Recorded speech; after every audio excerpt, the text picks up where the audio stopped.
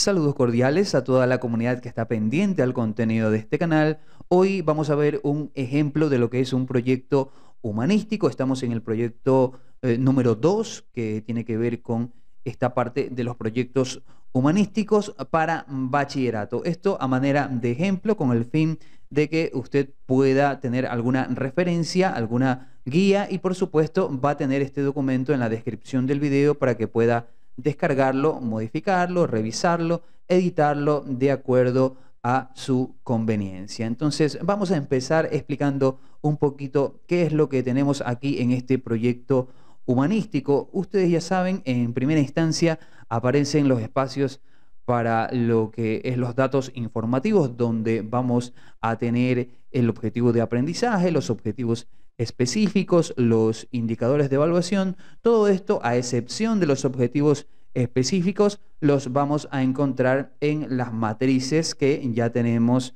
eh, por parte del Ministerio de Educación, donde están las matrices eh, para los proyectos humanísticos como para los científicos y vamos a encontrar todo lo que son los objetivos, los indicadores, las destrezas eh, de cada una de las materias. Entonces, de acuerdo al tema que nosotros hemos escogido, vamos a ir llenando esta parte con respecto a los objetivos específicos. No olvidemos que al menos deben eh, ser tres em, eh, objetivos específicos, mejor si están relacionados entre, entre varias materias, eh, sean interdisciplinares, sino cada materia puede ir colocando y construyendo su objetivo específico, por supuesto, de acuerdo a la destreza que está trabajando. Listo.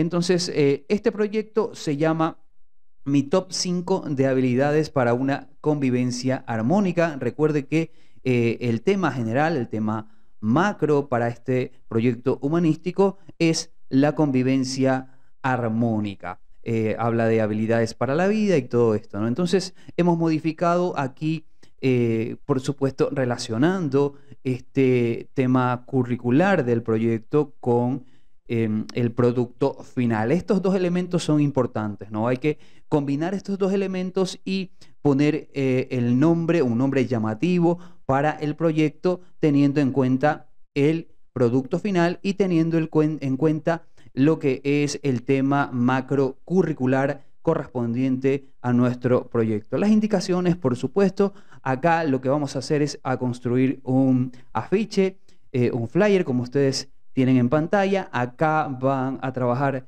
todas estas materias que tenemos aquí a la vista y están distribuidas en, el afiche de acuerdo a cómo van a trabajar.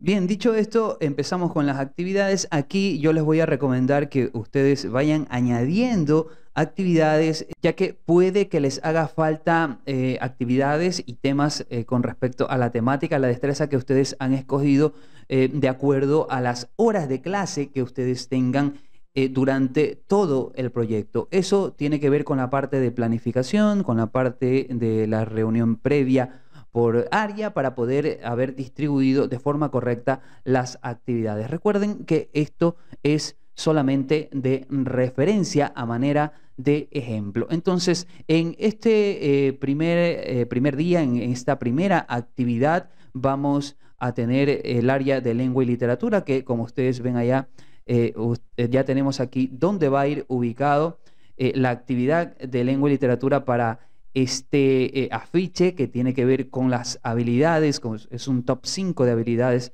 para la convivencia armónica. Y aquí quiero ser sumamente claro, todo, todas estas actividades van a ir encaminadas y están planificadas para que al final haya un elemento dentro del producto final. Por favor, eso es sumamente importante. No pueden haber actividades que no estén relacionadas con la construcción de nuestro producto final. Hay varias actividades, sí, pero nótese que al final nos pide que coloquemos eh, nuestros eh, propios, dice, construyan con nuestras propias palabras, eh, voy a inferir, a redactar y a publicar mis ideas con respecto a estas dos habilidades dentro de mi afiche.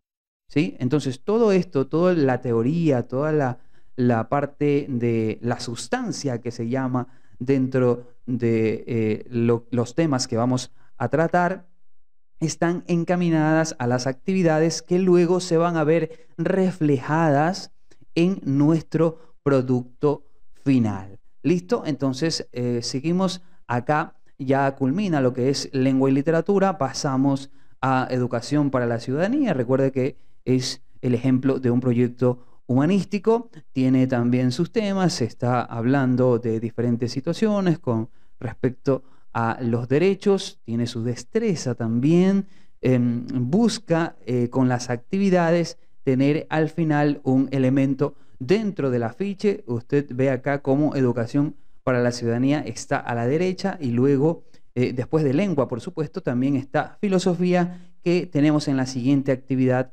aquí, que bueno, acá nos va a hablar de lo que es el origen del pensamiento filosófico y al final la actividad, eh, dentro de sus actividades, por supuesto, termina con eh, la elaboración de un elemento dentro de este afiche.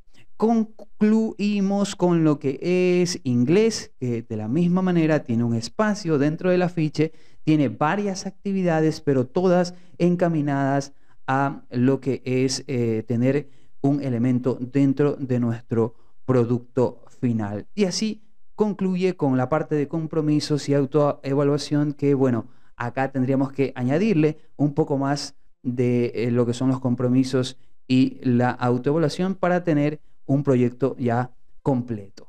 Nada más, damas y caballeros, esto es eh, una referencia, un ejemplo de lo que es un proyecto humanístico. Les recuerdo que este documento va a estar disponible para que usted pueda descargarlo en la descripción de este video. Yo les agradezco por toda la atención y pues nos estamos viendo en una próxima ocasión. Hasta pronto y muchísimas gracias.